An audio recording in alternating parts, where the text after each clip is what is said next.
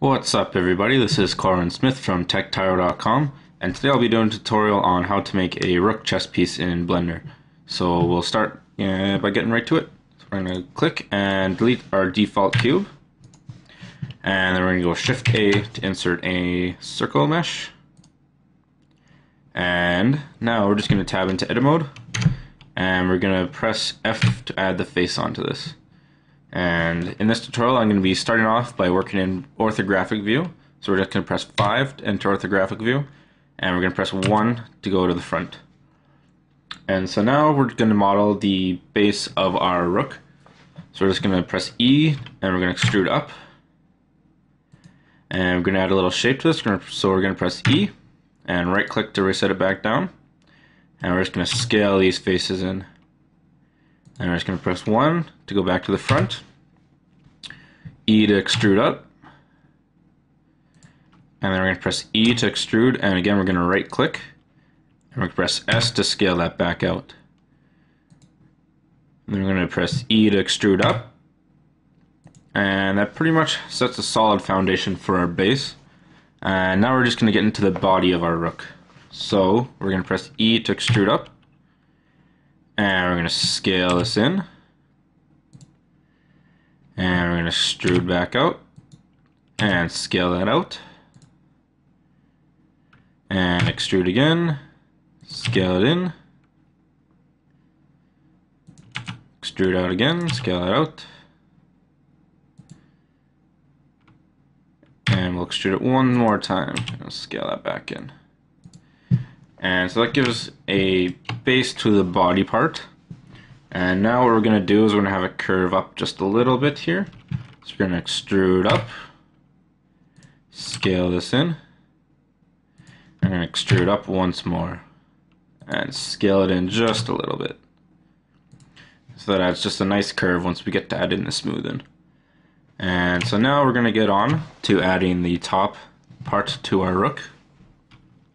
So we're going to press E to extrude up just a little bit and S to scale that out.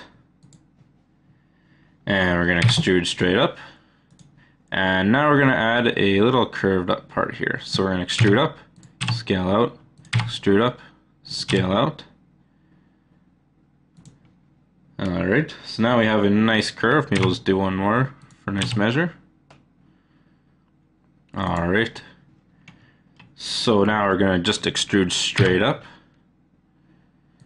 And now we're going to do one more thing before we get to modeling the little top part. So we're going to extrude up, scale that in. And we're going to extrude up, scale that out. And move that up just a little bit more. And it looks pretty good to me. So now what we have to do for our rook uh, if you've ever seen them, is they have these pillars that kind of stick out that give it the nice tower looking piece. So what we're going to do, uh, like we were doing at the base, is extrude up.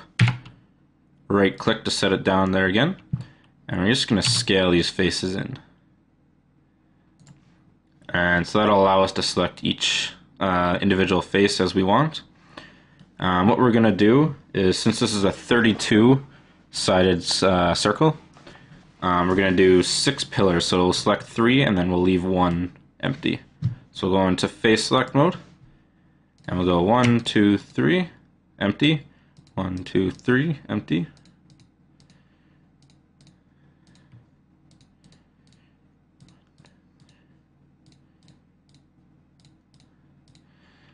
And so that'll give us three, eight uh, columns. So we'll go back and we'll press 1. And we'll extrude those up. And then we'll tab out of edit mode to take a look at our rook. And it's a pretty nice looking rook if I don't say for myself. Um, I'm sure you guys will be nice and proud of what you've made. And we'll go back into this mode. Uh, sorry, perspective mode. And if you don't have the box here, like I don't right now, just press N to bring it up and we're going to tab into edit mode. And just to set you up for uh, what's going to happen next I'll go just show you. If you hit smooth shading you'll see these edges get smoothed out as well. And we don't want that for our rook. So we're gonna go, uh, go back to flat, tab into edit mode, and we're just gonna give these rings a mean crease. Uh, what the mean crease allows is uh, when you have um, an edge, sorry, an edge split modifier on, um, it allows you to have straight edges when the mean crease is on. So we'll go um, into vertice select, give that a mean crease, and then we'll go and select this part here. Uh, easy way to select the inner ring is go to face, select the face, go back to vertices, and just give that a mean crease. And then we're going to want to give each of these, oops, go into edge select, sorry, each of these, while holding shift you can select multiple just in case you didn't know.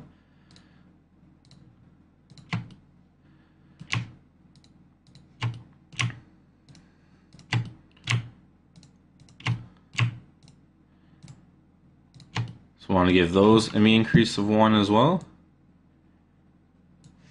And same for the outside.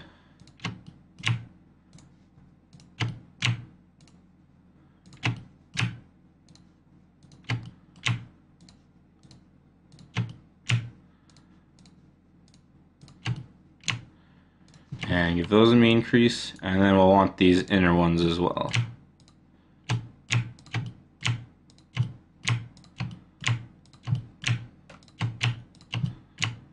and give those a crease. And we're also going to want to add them to each of our layers here except for this one part. So we'll go hit Alt, uh, Alt right click, crease there, Alt right click, crease, oops, crease there. And since you want to keep this curved part, we're not going to crease that, but we'll crease this part here.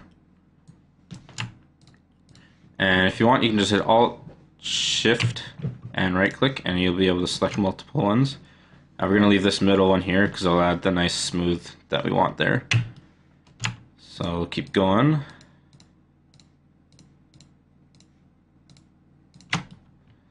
And make sure you get this underside one. And we'll give that a mean crease there. So we'll tab out into object mode and we'll hit smooth as you can see, it still looks a little bit wonky. Uh, what we need to do now is add a edge split modifier. Now what this modifier does is it allows an object with smooth shading to have areas with flat shading. Uh, what decides this is the edge angle threshold value we can set. Uh, when you set this angle, all adjacent faces whose separating angles are greater than the threshold angle will receive flat shading, while those below it will remain smooth shaded. So I'll show you the gist of this. So we'll go into the modifier tab and we'll add a edge split modifier. So now you can see, since our threshold angle here is 30 degrees, that the angel, or the areas that we added the mean crease are nice and blocky, and the areas that we didn't have this smooth uh, curve to them. So hopefully that helped you out on how to make a rook.